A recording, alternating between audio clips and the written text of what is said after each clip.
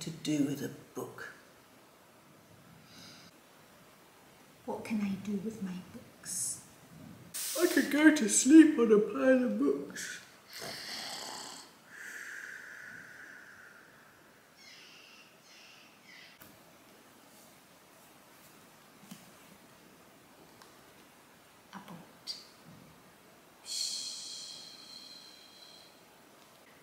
I could pretend my fingers were mountaineers and climb all the way to the top. I've got a new hat on. Use it as a garage for my tractor. That's not very good for a book though, is it?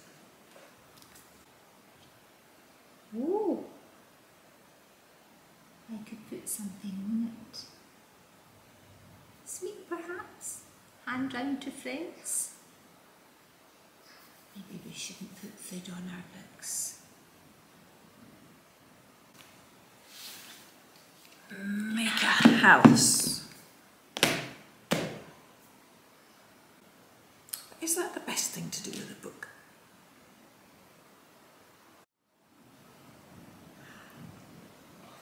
Wow.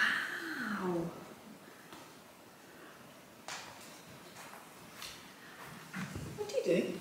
I'm reading a book. Reading a book. That's the best thing to do with a book, isn't it? We were coming up with some silly ideas, weren't we? What book are you reading? I'm reading all about inventions. And it actually ties in with the Summer Reading Challenge this year. The Summer Reading Challenge. What's the theme? It's the Gadgeteers. Oh, this here, the Gadgeteers. Gadgeteers. It's the Gadgeteers. So, thinking about silly things to do with books fits in a little bit. So, how do you join this thing then? All you have to do is read some books. Just any old books you find hanging around at home? No, you have to come along to a library and read six books. And when you sign up, you'll get a bookmark.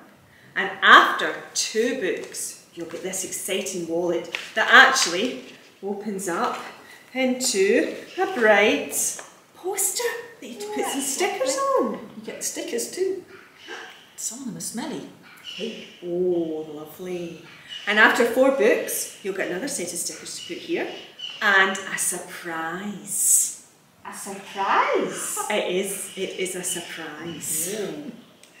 And then, when you read all six books, you'll get your last set of stickers to finish your poster and a medal and a certificate. Is this the medal here? Is. A lovely wooden medal. Very different for this year. Now, I wonder if you can spot your local library coming up.